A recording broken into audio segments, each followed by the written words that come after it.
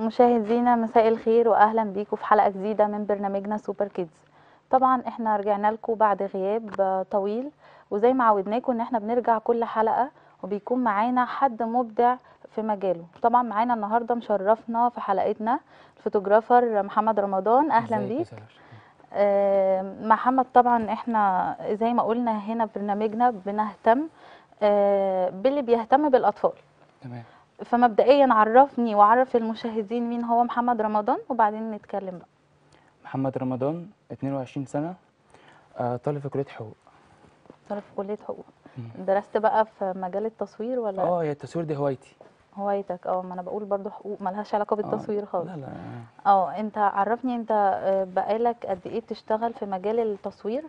أنا هوايتي التصوير الأول كنت بأجر كاميرا وكده وبنزل مع صحابي وأصور. ومع الوقت بقى اشتريت كاميرا و... وحتى ما كانش في دماغي الفلوس كنت بعمله مبلغ بسيط. انت اكتشفت أصلا الموهبة إزاي يعني؟ يعني كنت بصور صحابي كانوا بي... أنا الوحيد اللي كنت بصورهم. آه كانوا يقولوا لك انت تصويرك كويس فعلشان كده بقى انت خدت القرار آه. وبقيت مصور فوتوغرافي. عاوز اعرف درست ولا لأ؟ لا لا لا ولا مع ولا مع كورسات؟ الممارسة اتعودت. ولا أي كورسات ولا أي حاجة ما شاء الله يعني آه، دي حاجة نادرة جدا. نادر ما بشوفها. دايما بيقول آه، لما يكون معايا photographer يقول لي مثلا أنا آه كان عندي الموهبة بس أثقلتها بال بالكورسات. آه أنت لما الموهبة تكون أحسن أحسن من الكورسات. طيب عرفني بتختار ال location بتاعك؟ آه، طبعا أنا شفت صور كتير ليك. طبعا كان نفسي نعرضها كلها النهارده.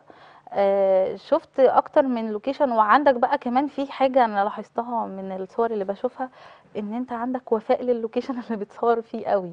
يعني في location كده آه، شفته فيه زرع وشجر وحاجات كتير كده. آه، شفت فيه أكتر من session بس بشكل مختلف. فطبعا ده إبداع يعني. فعرفني بتختار ال بتختار ال session بتاعك بتختار المكان بتاعك بأي معايير؟ لما حد بيجي مثلا يعكس ستيشن بقول له الأول وريني هتلبس إيه اللبس اللي اللي هيلبسه بنسق عليه المكان.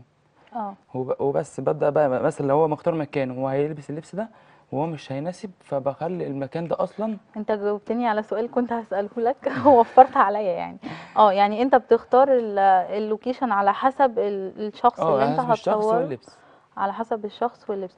طب ده شيء كويس جدا. طيب عرفني بقى انت دلوقتي مثلا بيجي لك حد يطلب إن انت تصوره أو عنده فكرة معينة.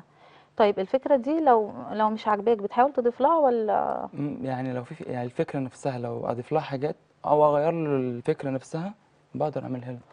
طبعا أنا بما إن الصور نزلت قدامي إحنا كنا قلنا عملنا زي مبادرة كده وقلنا إن الأطفال تعمل آه، ترويج وتشجيع للسياحة مم. في مصر.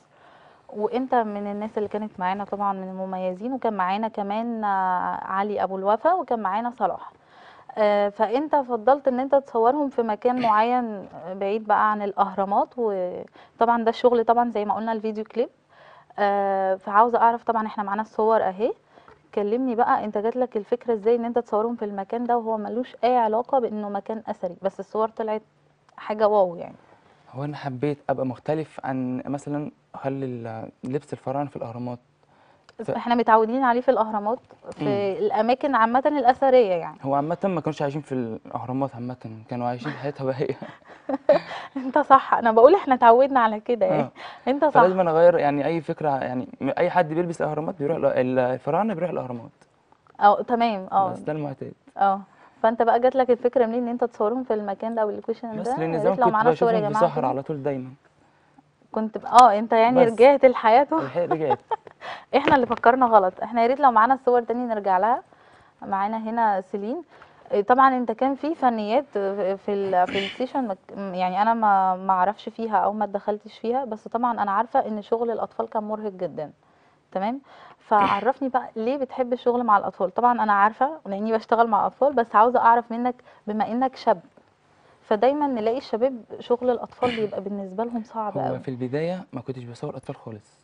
بس أنا جيت في مرة طلبت على الجروب عايز حد أصوره بنت كبيرة مثلا. في بنوتة مامتها حطت صورتها في الكومنتات فاخترتها وصورتها في الأهرامات ساعتها. ومن آه. ساعتها أنا حبيت الأطفال بقى. آه يعني هي طفلة حببتك في الأطفال كلهم. معانا؟ والاطفال حببوني للصبر. معانا صورة كمان. يعني أنت اخترت لهم بعض ال- اللقطات أو حركات في التصوير آه، مختلفة عن عن باقي الصور. يعني. مثلا صورة زي دي مثلا فقولي جبت الأفكار دي منين؟ بتعمل search ولا هو ده بقى أنت لا أنا دماغك؟ بصي ال search عامة أنا ما بحبوش تقليد. آه آه. إنما الفكرة لما تيجي قدامي كده الشخص قدامي فبتأقلم أنا وهو. هو أنا شايفة قدامي حد مبدع جدا يعني ما شاء الله عليك. آه طيب آه، أنت قلت لي إن الأطفال آه، أنت حبيت الشغل معاهم وقلت لي بقالك آه، سنتين. سنتين بتشتغل مع الأطفال. ليك طبعا أكتر من session كان ترند قوي على ال- ال social media فعاوزاك تكلمني كده عن أكتر آه، session أو أكتر فكرة أنت عملتها وفعلا نجحت وضربت مع الناس. هو في فكرتين. آه أول فكرة إحنا طبعا مش معانا الصور بس أكيد. هنعرضها في حلقة تانية. أو ثلاثة كمان ثلاثة أول فكرة بتاعت حبيبة كانت لابسة ال mask بتاع ال session الإدمان. آه تاني فكرة بقى اللي كانت بتاعت الرعب. آه رعب. رعب مع أطفال؟ مم.